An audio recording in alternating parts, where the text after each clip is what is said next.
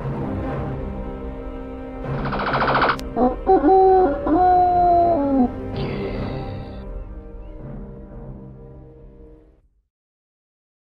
everyone, thank you for joining me. My name is Nick. We're on the Atari 2600 and looking at a rather classic game called Frogger. was in the arcades by Konami in 1981. This conversion I believe was by Parker Brothers the year later in 1982. Essentially, if you're unfamiliar with Frogger, which uh, I'm sure isn't the case, you must guide a frog from one side of the screen to another in one of those blue bays at the top. So first crossing the road and then crossing the river. If you get run over by a car, you will get splattered. If you go into the river, you will get splattered because uh, frogs can't swim. Uh, yeah, we all know that.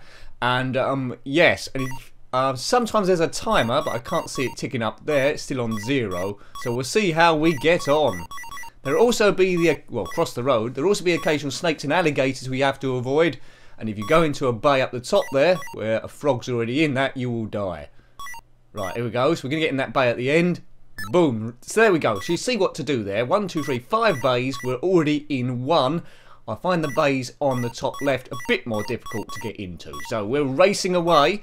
My aim for this review is just to get off stage one by completing all the frogs in all the bays. I don't know if I'll do that.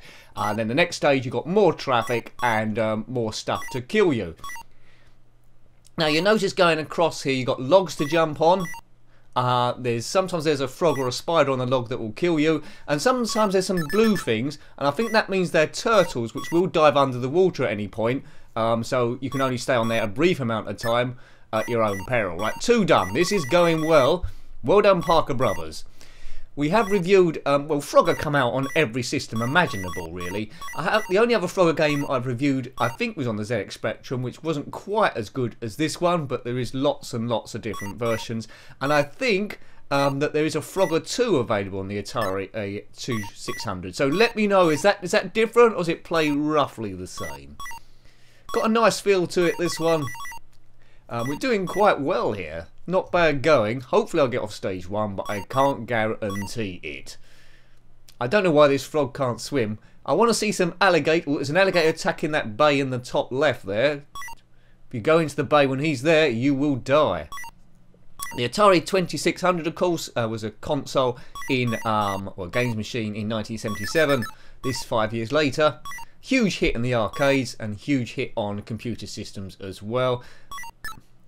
The basic games always work the best, I think, with these early systems. It's not trying to attempt loads, but there's a lot moving on the screen at the same time. That four lanes of traffic is quite good, and also four, uh, essentially four lanes on the river as well. Uh, logs move in different directions on this river, but that's Frogger for you. Let's see how far up we can get. Now, uh, we have started reviewing um, Atari 2600 games very recently. Um, people, so I hope you're enjoying those. If you owned the system back in the day, or just uh, um, a fan of retro stuff. You've already been telling me what your favourite games, so we'll have be looking at those. The, the back catalogue of Atari games is a lot smaller than ZX Spectrum Commodore 64, but important to look at because they do have a feel all of their own. So hopefully it's bringing back a bit of retro goodness to you, which is what the channel is all about. It's all about having a bit of fun, easing stress, and um, sharing memories, which is good. It's a good thing. Community spirit, that's what I say. So how are we doing this frog? We need to get the one at the end, which is the trickiest one to get. Will we do it? Uh, I need I need a bit of luck here. There's a crocodile in the way. There was. Right, come on. That timing is wrong, I think. Yeah, yes, we done it! Good stuff. There's an alligator going across there, you can see. Don't jump on an alligator. Right, so stage two. There is more traffic now, going in lots of different directions and more alligators up the top there which will gobble you up. I never played the um, the arcade game by Konami but I presume this plays roughly the same. I think that's a little bit more colourful. I think it is. Let me know about that and also about Frogger 2 as well. Is that what I'm looking at or is that actually a rip-off? Lots of good arcade games to look at here that Atari tried. I think there's Defender and Defender 2 uh, asteroids. I've been told Pac-Man is not that good, um, so it might be interesting to have a look at that one. So, what was your biggest? If you're uh, if you've got quite a lot of knowledge of the games on this system, because I'm just gradually discovering them, Um, if there's any really bad games that disappointed you, let me know about those as well, because it's all about looking at the good games, the classic games, and, and the poor games too. Um, I know a lot of people might mention E.T., which ended up as Landfill, I think, but uh, uh, we, we, might have a look at that at some point. Might be tough getting a full video out of it, but um, from historical purposes, might be good having a look. I don't know if that's going to make the new one as my worst game ever reviewed. At the moment, that's Jack and the Beanstalk, I think, on the ZX Spectrum. Come on, Froggy. Oops. Oh, dear. Run over here. Yeah, I'm interested in the colour palette on the Atari 2600. I mean, it isn't too dissimilar from the Commodore 64, is it? The shades of this? Maybe it's my imagination, but it does seem that way. Duh, duh, duh. I'm dead. There's a snake going across there, so that saves you dawdling around. Well worth another go, this one. So I got off stage one. Stage two is a bit tricky for me.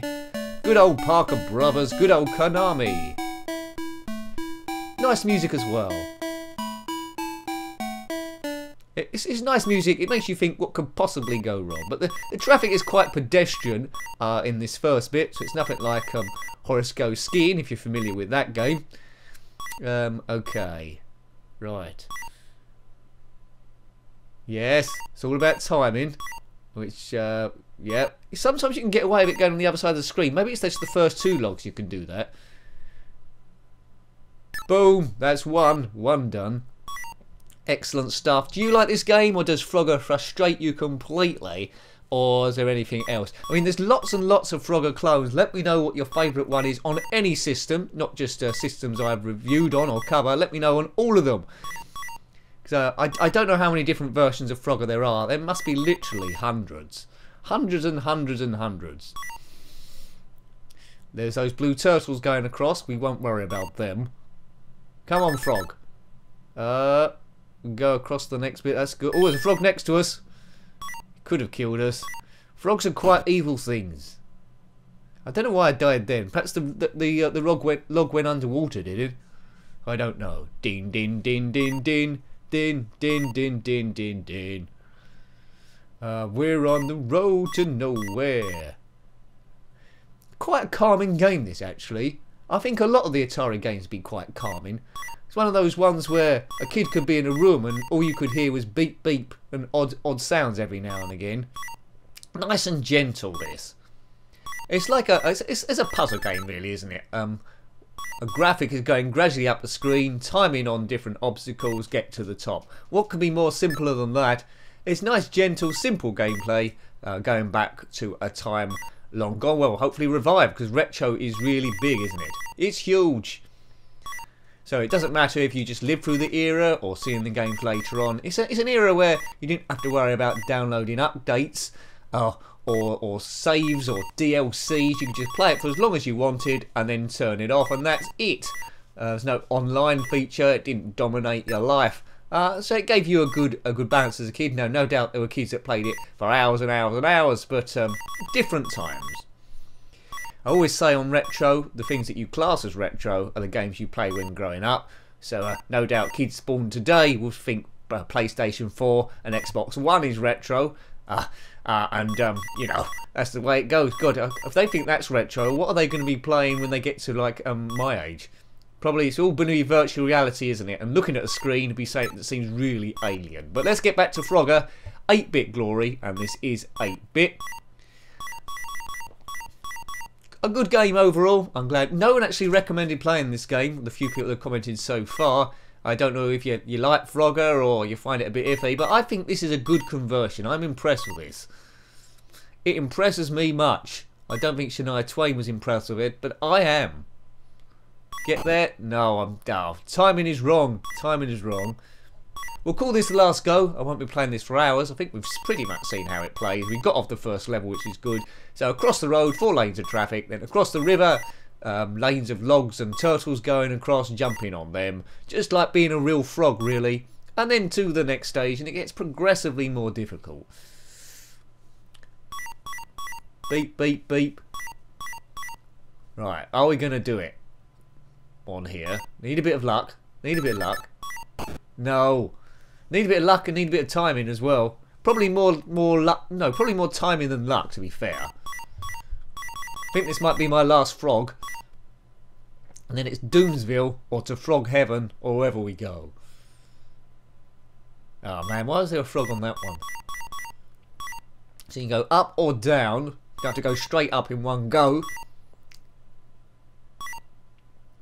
Right, need a bit of luck here again. Well, I talk about luck a lot, don't I? It's my excuse. I was an alligator in the way now.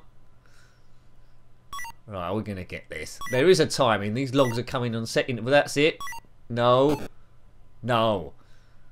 Oh, I run out of I run out of skills there. Right, this is my last frog. You see, there's no white dots down the uh, bottom left there, which indicates how many lives you've got left. So this is it. It's now or never on this um, this road to victory or or disaster. Yes, disaster.